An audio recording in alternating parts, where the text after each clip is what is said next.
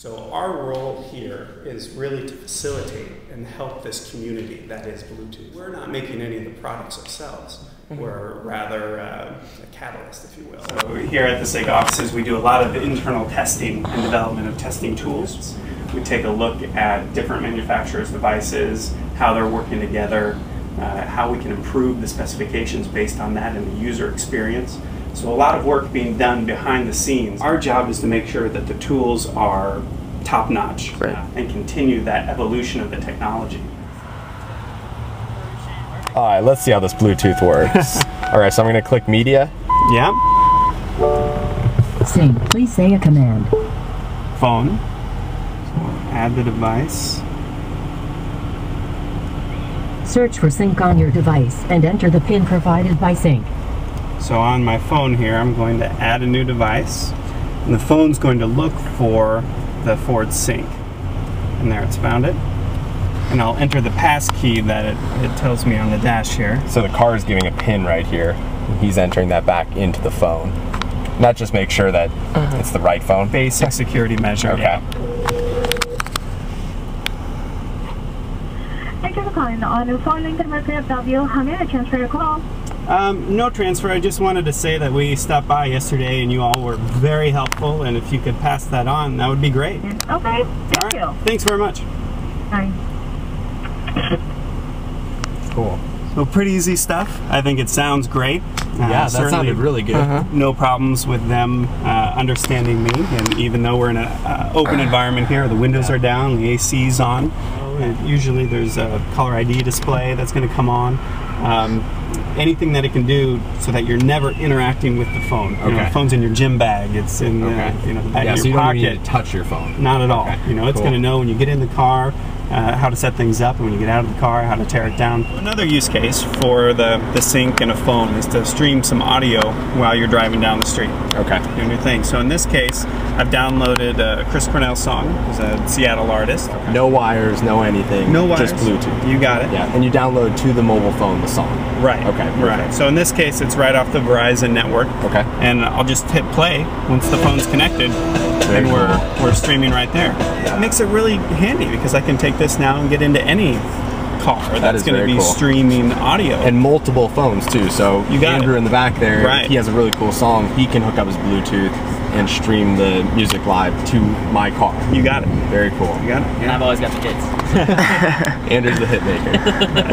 Very cool. Bluetooth technology. Some cool stuff they got going on. Tell me what's new at Bluetooth? What do you guys have in the pipeline? Sure, we've got a couple things. Classic Bluetooth and Yeah. stereo audio and printing and file transfer and you know all these things. You know, then we, we've extended that out to high speed for faster scenarios and then eventually streaming audio and Yeah. video together. So that's what that high speed Okay. channel is, is enabling us to do. And then that low energy, talking about sensors, Yeah. you know, getting rid of wire, getting rid of the copper, which is Very cool. Yeah. Well, thank you for your time. It's definitely Absolutely. interesting hearing all about Bluetooth.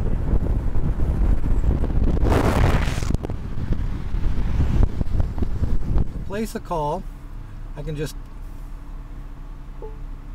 call Bill Gates, Call Bill Gates on cell or at work. cell. Can't really call him at work, right? You know, because you know, he's retired now. Yeah.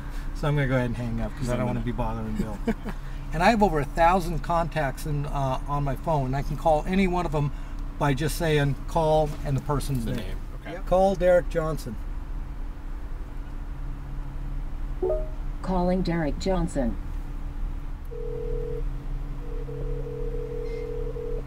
There we go. Cool. See? Hey, it works. it worked. You see, and what uh, all I did was um, I entered your uh, contact information into Outlook. You know, Okay. at, my, at, at my PC. It automatically syncs with my phone. My phone automatically syncs with my car, so I don't even need to think about it. Yeah. You know, it's just there when I need it. Yeah. So what'll happen if I ask for artist Sade? Let's see. Play artist Sade. Playing artist Sade. Wow. See, it understands. What's playing? Playing Crazy in Love by Beyonce from the album Dangerously in Love. Now, the new thing that they have is uh, services. Okay. Services. Which service do you want? Sports. Sports. Say the name of a sport or say, tell me my choices. Baseball?